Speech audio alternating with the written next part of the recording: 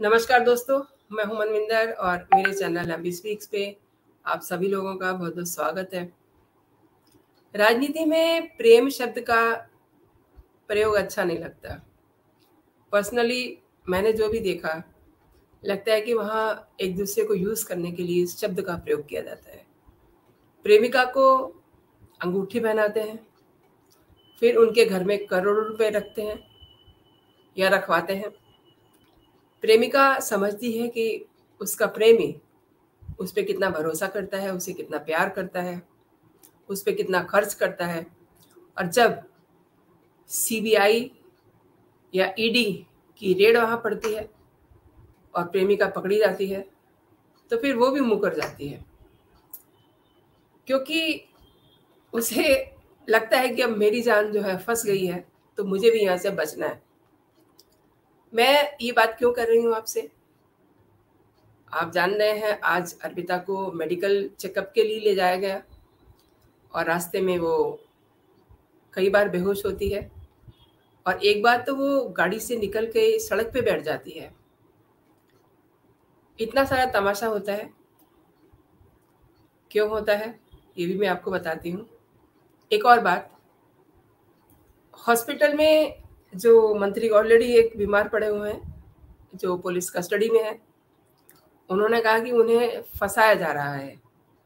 तो यानी कि अगर वो फंस रहे हैं तो उनकी प्रेमिका भी फंस रही है। ये मंत्री हैं पार्थ चटर्जी और इनकी जो महिला मित्र हैं, वो हैं अर्पिता।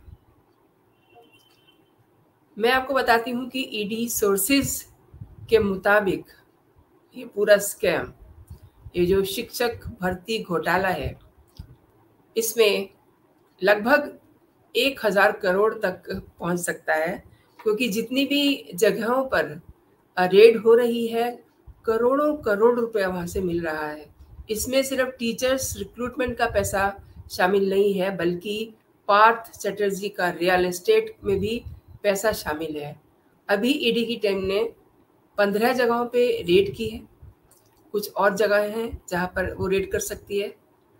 और इधर टीएमसी ने विधायक मनिक भट्टाचार्य को भी पूछताछ के लिए आज तलब कर लिया है। ये एक नया अपडेट अपडेट है। और पार्थ चटर्जी की गिरफ्तारी के बाद पाँच दिन तक केवल उन्होंने अपनी गिरफ्तारी के बाद आई मीन केवल ग्रीन टी ली और बिस्किट लेते रहे और रात में उन्होंने दाल रोटी खाई। और उसके बाद उनके चिनार पार्क और नयाबाद के फ्लैटों की भी तलाशी ली गई। इन जगहों से दो रियल एस्टेट से जुड़े दस्तावेज़ मिले हैं। जाँच में ये भी सामने आया है कि शिक्षक भर्ती घोटाले में मिली रकम रियल एस्टेट में लगाई जा रही थी और अर्पिता के फ्लैट से एक गोल्ड रिंग भी मिली है। आप दोस्तों ध्यान दीजिएगा, उसके फ्लैट से एक गोल्ड रिंग मिली है जिसपे पी लिखा हुआ है। अब पी फॉर पैरट तो हो नहीं सकता। आप समझ सकते हैं पी का मतलब क्या है? पार्थ चटर्जी। और इस रिंग के बारे में भी ईडी उससे सवाल करेंगे। कुछ और बड़े अपडेट्स हैं।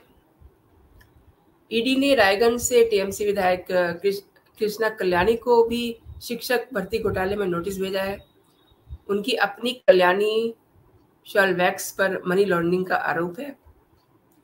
अर्पिता ने कबूल कर लिया है कि पार्थ उनके फ्लैट पे कैश रखते थे। लेकिन इतना ज़्यादा कैश उन्होंने रखा होगा, ये वो नहीं जानती थी। मैंने आपसे बताया ना कि वो ये समझती रही कि ये सब पैसा उससे खर्च हो रहा है। लेकिन एक्चुअली पार्थ उनके घर में बहुत सारा पैसा लगातार रखते जा रहे थे। अभिषेक बनर्जी शिक्षक भर्ती को लेकर के प्रदर्शन कर रहे हैं और अभ्यर्थियों से मुलाकात करेंगे। ये करीब आठ महीने से प्रोटेस्ट कर रहे हैं।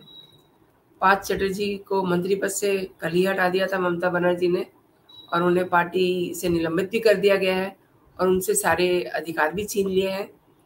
और ममता बनर्जी ने एक बड़ा बयान दिया है कि पार्थ ने अगर गलती की है तो उसे सजा के रूप में उम्र कैद भी होगी।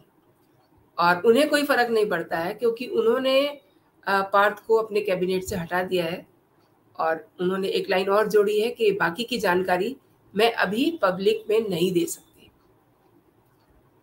पार्थ चटर्जी मामले में अब तक जो भी हुआ उसमें ये कह रहे हैं अभिषेक बनर्जी कि पार्थ चटर्जी मामले में जो भी अब तक हुआ है, उस पर उनकी नज़र है।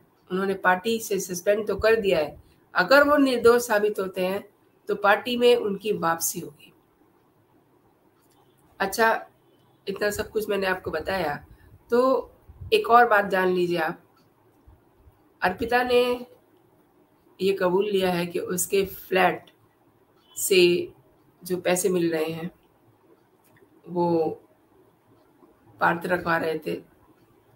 ईडी के सामने उन्होंने कहा है कि अब तक उसके फ्लैट से ईडी जो जानकारी दे रहे हैं मीडिया में कि उनके फ्लैट से पचास करोड़ से ज़्यादा रुपए कैश और गोल्ड जो है, वो स्वीकार लिया है अर्पिता ने।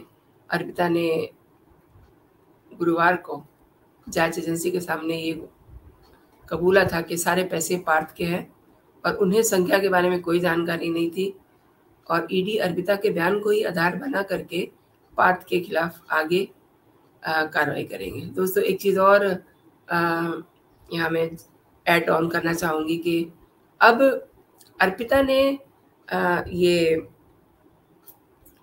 कह दिया है ये कबूल लिया है कि ये पैसे जो हैं पार्थ चटर्जी के हैं। लिहाजा इसी के आधार पे पूरी जाँच चलेगी।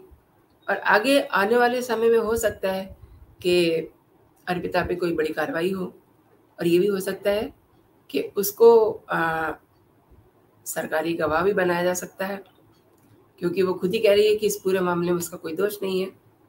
तो दोस्तों क्या कहते हैं आप इस कंटेंट के बारे में? मुझे आपके कमेंट का इंतज़ार रहेगा। और अगर आप पहली बार मेरे चैनल पे आए हैं तो आप मेरे चैनल को सब्सक्राइब भी कर सकते हैं लाइक भी कर सकते हैं। फ़िलहाल इतना ही दोस्तों, आप अपना और अपनों का ख्याल रखिए। जय हिंद, जय भारत।